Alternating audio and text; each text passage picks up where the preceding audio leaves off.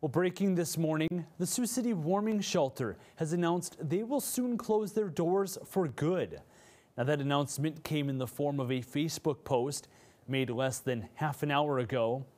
And that says the shelter will close on October 1st. In the post, the shelter says the closure is due to, quote, a lack of community support and declining resources, end quote. They add in the coming weeks, shelter staff will work to help current residents find other housing.